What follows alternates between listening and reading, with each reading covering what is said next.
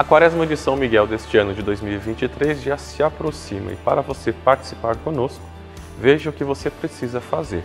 E o primeiro passo para você viver bem este tempo é uma boa confissão, a missa diária e realizar a penitência proposta para este tempo. E o que você precisa adquirir para rezar este tempo quaresmal é a imagem ou uma estampa de São Miguel, o terço e a vela abençoada. Reze conosco de 15 de agosto a 29 de setembro presencialmente aqui no Santuário de Frei Galvão ou pelas nossas redes sociais a partir das 14 horas. Paz e bem.